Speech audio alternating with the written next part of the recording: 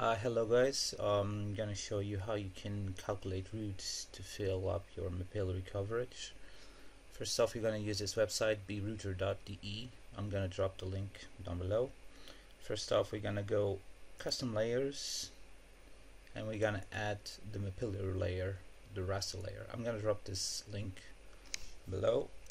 So I'm control C and I'm gonna drop the address here and hit mapillary on description.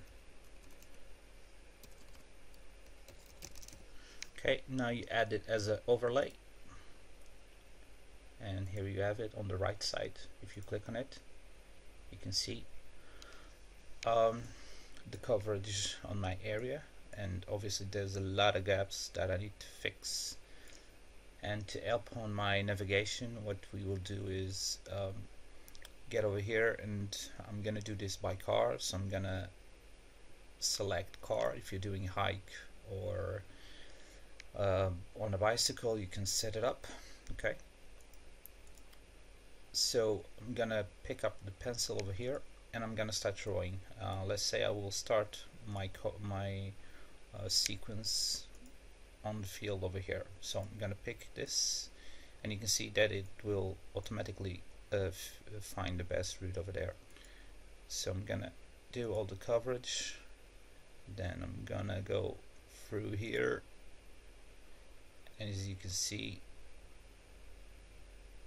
it adjusts uh, the route.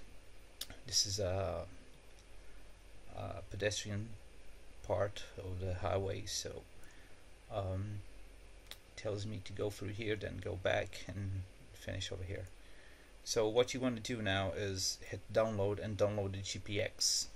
Uh, once you have the GPX uh, uploaded or connect your smartphone and uh, use OSM and app and that way you can just follow the, the, the GPX track you just uh, created and it's an easy way to fill all these gaps that we are still missing on Mapillary either on foot or car. I think this is a good way to improve the, the coverage. Cheers.